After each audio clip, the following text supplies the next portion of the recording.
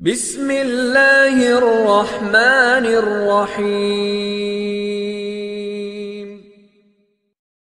وقال النبي صلى الله تبارك وتعالى عليه وسلم إن الله بعثني كافة للناس رحمة فأدوا عني أو كما قال میرے بھائیوں اور دوستو اللہ کا احسان ہے جس نے لا الہ الا اللہ کہنے والوں کا اتنا بڑا مجمع ایک کپڑے کی چھت کے نیچے جمع کیا، ذالک فضل اللہ۔ یہ اللہ ہی کا فضل و احسان ہے۔ کسی انسان کے بس میں یہ طاقت نہیں ہے کہ قبائل مختلف زبانیں، مختلف مزاج، مختلف، اور ایک چھت کے نیچے جمع کر کے بٹھا دے۔ گرد و غبار پھانک رہے۔ شکوا شکایت کیے بغیر بستر بچھائے بیٹھے ہوئے۔ یہ اللہ کی نعمت ہے، جس پر شکر بھی واجب ہے۔ جتنے یہاں انسان ہیں، یہ تو اللہ ہی جانتا ہے کتنے ہیں۔ اس سے کروڑوں گنا زیادہ یہاں فرشتے ہیں۔ جن کے تانتے آسمان تک لگے ہوئے ہیں۔ ہم ایک دوسرے کو نہیں جانتے، لیکن اللہ مجھے آپ کو اور ایک ایک کے نام کو، اس کے باپ کے نام کو، اس کی نسلوں تک کو جانتا، پہچانتا ہے۔ اور یہ بات حق اور سچ ہے کہ اس وقت اللہ تعالیٰ آپ سب پہ عرش پہ بیٹھا ہوا فخر فرما رہا ہے۔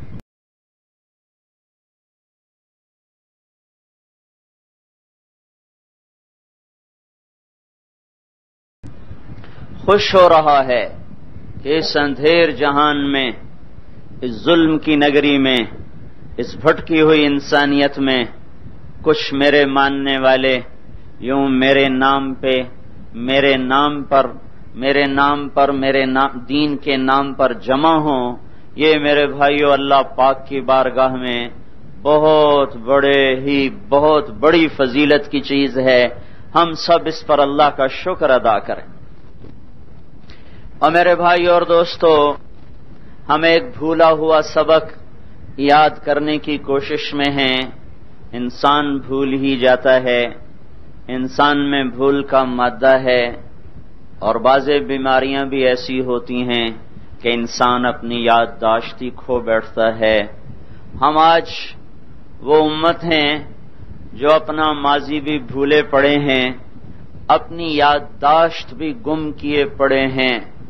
بعض دھکا لگتا ہے دماغ کو۔ ڈاکٹر زیادہ بہتر سمجھتے ہیں، یادداشت کھو جاتی ہے۔ ہمیں دنیا کی محبت نے دھکا دیا، مال کی محبت نے دھکا دیا، ہم اپنی یادداشت کھو بیٹھے ہیں۔ ہم یہ، ہمیں یاد ہی نہیں ہے کہ ہمارا، ہماری اصل کیا ہے۔ ہمیں یاد نہیں ہے ہم دنیا میں آئے کیوں ہیں۔ ہم بھول گئے۔ کہ سمت کا ایک ایک فرد چنا ہوا ہے، چھانٹا ہوا ہے ہوش تباکم اللہ تعالیٰ اعلان کرے کہ میں نے تمہیں چھانٹا، کیا مطلب؟ ساری آدم علیہ السلام کی اولاد کی روحوں کو اللہ نے سامنے دیکھا۔ آدم سے لے کر آخری مرنے والا انسان، تمام کی روحیں اللہ کے سامنے ہیں۔ اللہ تعالیٰ نے جیسے آپ ٹوکری میں سے سیب چھانٹتے ہیں۔ ایک مثال دے رہا ہوں، اللہ پاک ہے ہر تشویح سے۔ ایک ہم سیب چھانٹتے ہیں، یہ ڈالا یہ ڈالا یہ ڈالا یہ ڈالا۔ اللہ تعالیٰ نے ساری کائنات کو دیکھا۔ اس میں سے ایک ایک کو اللہ نے الگ کیا۔ ہاں یہ اس کو میرے محبوب کا امتی بناؤ۔ اسے میرے محبوب کا امتی بناؤ۔ اس کو الگ کرو، اس کو الگ کرو، اس کو الگ کرو، اس کو الگ کرو۔ ساری آدم علیہ السلام کی اولاد میں سے اللہ تعالیٰ نے ہمیں ہوش تباکم اللہ نے ہمیں چن کے الگ کر دیا اور حضرت محمد صلی اللہ علیہ وسلم جیسا نبی دے دیا اور قرآن جیسی کتاب دے دی جس جیسی نہ کوئی کتاب، جس جیسا نہ کوئی نبی، جس جیسا نہ کوئی آیا نہ آئے گا۔ تو میرے بھائی، ہم اپنی نسبتوں پہ غور کریں کہ کتنی بڑی نسبتوں والے تھے، لیکن ہم کیا کر رہے ہیں؟ یعلمون ظاہرا من الحیات الدنیا وہم عن الآخرت ہم غافلون۔ جو دنیا نے چکر دیا، صبح ہوتی ہے، شام ہوتی ہے، زندگی کمائی کے پیچھے دوڑتے دوڑتے گزر جاتی ہے۔ یہ بھول ہی گئے کہ اللہ تعالیٰ نے کہا تھا ہوش تباکم ارے تم میرے چنے ہوئے ہو۔ تو یہ اللہ کیوں چنا تھا؟ کس لیے چنا تھا؟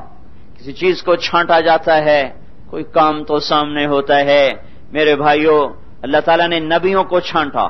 اللہ یشتبی الیہ من یشا کیا ہم جس کو چاہتے ہیں کار نبوت کے لیے منتخب کرتے ہیں۔ پھر اللہ نے ہمیں چھانٹا۔ ہوش تباکم تم بھی میرے چنے ہوئے ہو۔ تم دنیا کے لیے نہیں۔ ان دنیا خلقت لکم، یہ تو دنیا تمہارے لیے ہے۔ تم تھوڑا ہی دنیا کے لیے ہو۔ یبن آدم، خلقت الاشیاء لاجلک اے میرے بندے، جہان تیرے لیے ہے۔ وہ خلق تو کل اجلی اور تو میرے لیے ہے، فلا تشتغل بما هو لك عمن انت له، جو دنیا تیرے لیے بنی ہے، اس کے پیچھے پھر کر، تو اس سے غافل نہ ہو جا، جس کے لیے تو بنایا گیا ہے۔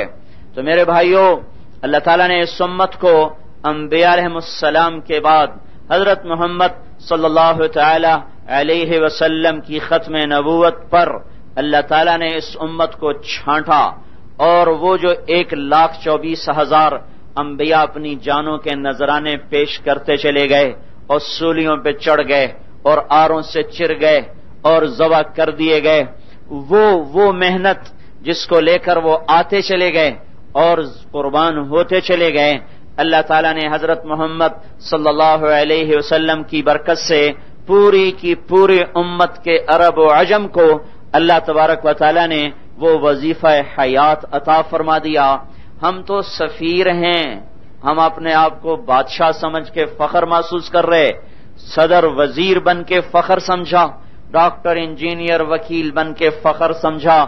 میرے بھائیوں یہ تو راستے کی گری پڑی چیزیں ہیں۔ آنی جانی ہیں۔ ہم اللہ اور اس کے رسول کے سفیر ہیں۔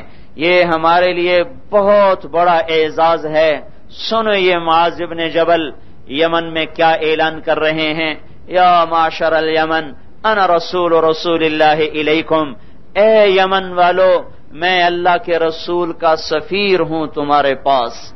معاذ ابن جبل کا بول ساری امت پر صادق آتا ہے۔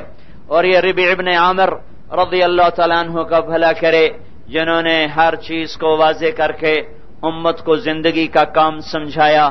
ان اللہ ابتعفنا رسم کے دربار میں یہ کلمات ادا کیے گئے تاریخ نے انہیں اپنے صفحات میں محفوظ کیا اور قیامت تک آنے والی کلمہ گو امت کے لیے حجت بنا کے باقی رکھا کہ تاکہ کسی کو یہ نہ ہو کہ ہمیں پتہ ہی نہیں تھا کہ ہم کیوں آئے تو وہ کہہ رہے ہیں ہمیں اللہ تعالی نے بھیجا ہے لنخرج العباد من عبادت العباد الى عبادت رب العباد ہم ساری دنیا کے انسانوں کو لوگوں کی غلامی سے نکال کر اللہ کا غلام بنانا چاہتے ہیں۔ من جور الادیان الى عدل الاسلام، ہم ساری دنیا کو ظلم سے نکال کر اسلام کے عدل میں لانا چاہتے ہیں۔ من ضیق الدنیا الى ساتحا دنیا کی تنگی سے نکال کر دنیا کی وسعتوں پر لانا چاہتے ہیں۔